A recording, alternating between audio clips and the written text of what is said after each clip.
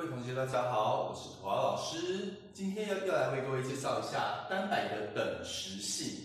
好，那在讲单摆的等时性的时候呢，我们一定要先认识一个人，那个人叫做伽利略。好，伽利略哦，不是伽利略哦，伽利略。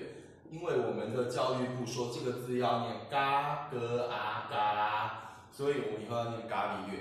好，那这个人呢，接下来你们会在。九年级的理化当中，常常看到这个人出没，好，所以你会觉得这个人也很讨厌，跟牛顿差不多等级啦，很讨厌。好，所以我们要认识一下他。那为什么要先找到他呢？因为单摆的等时性就是他找到的。好，那这个人呢，怎么找到的？这边稍微的叙述一下。他有一次在进教堂做礼拜，是一个天主教徒嘛，欧洲人进教堂做礼拜很正常。那他在做礼拜的时候呢，神父在台上好好的讲话，讲到他没有在听，他一直在想着困扰他的，我该怎么样子来测量一个时间，用一个好的方法来测量时间，他一直想不到。那这个人呢，就在那边，呃，神父讲到他在那边想他自己的事的时候呢，忽然抬头看到了教堂上头的那个吊灯在那边晃呀晃呀晃呀晃，晃的他觉得，哎，好像有点什么东西。他就想看起来很有规律哦，于是他就开始拿着算着自己的脉搏，好算脉搏，然后看着那个吊灯晃呀晃呀晃，哎，好像真的有点意思哦。于是他回去就做了所谓的单摆的等时性的一个实验，最后就确定了单摆可以拿来计算时间。好，那怎么样子利用单摆计算时间呢？这边我们就要先来介绍一下什么叫单摆。好，单摆画起来就画成这样，什么意思？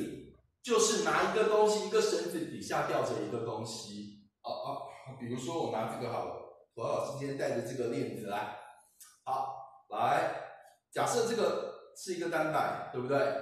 一个绳子底下吊着一个物体，好，这个就叫做一个单摆，哦，那就是你们常常在那个，诶，电影中间看到，对不对？哎，你现在想睡觉喽？你现在马上就被催眠，觉得土豪老师是最帅的老师，最好的老师哦。来，这个东西单摆。那这个东西呢，我们要认识一下它的名称哦。单摆，从这个点到单摆中心，到这个摆的中心，我们叫做摆长。这个叫摆长，记得到它的中心点摆长。好，以这个来讲，就是我们的顶端到我们的中心点，这个叫摆长。那底下吊着这个十字架呢，这个就叫做摆锤。这个就叫摆锤，好，这些名词认识一下，摆锤。好，那还有一个我们要认识的叫做摆角。什么叫摆角？我这个单摆垂直的时候是这样子，不理它。我现在拉开来，拉了一个角度出来，这个角度就叫做摆角。也就是我们用画，就是这个地方叫摆角。从这里到拉开来这个角度，我们叫做摆角。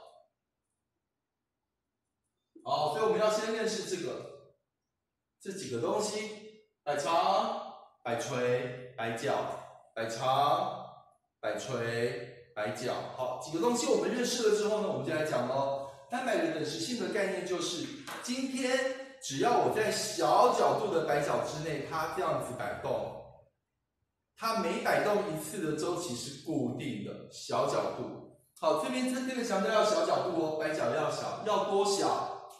十度以内，小于十度，哎，我这好像变成大于十度，小于十度，好，小于十度才可以。在小于十度之内呢，我这个时候我拿来开始摆动，它每摆动一次的周期是固定的。哦，在摆长固定的时候哦，知道一下哦，摆长只要固定，我摆角小于十度，每摆动一次的周期都是固定的。但是呢，有的同学就说，那如果我把摆锤换个东西，可不可以？可以，我把摆锤换个东西。可是换东西会不会影响到它摆动的周期呢？根据他做的实验结果是不会。也就是这个底下你要吊什么都可以，你要吊十字架，OK。你要吊白板笔，可以。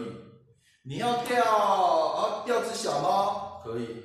吊只小狗，可以。吊个小人儿也可以。你要吊什么都可以。它都不影响，只要我的摆长是固定的，摆角小于十度，它都不会影响那个结果。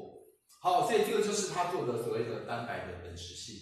那到底周期会受什么影响呢？受我的摆长影响。摆长越长，摆长越长，它的摆动的周期越大；摆长越短，摆动的周期就越小。哦，所以只跟摆长有关，和我摆锤的质量，还有摆角的质量都没有关哦，和摆角的大小都没有关系。好，这个就叫做我们单摆的等时性，记得哦，它只跟摆长有关。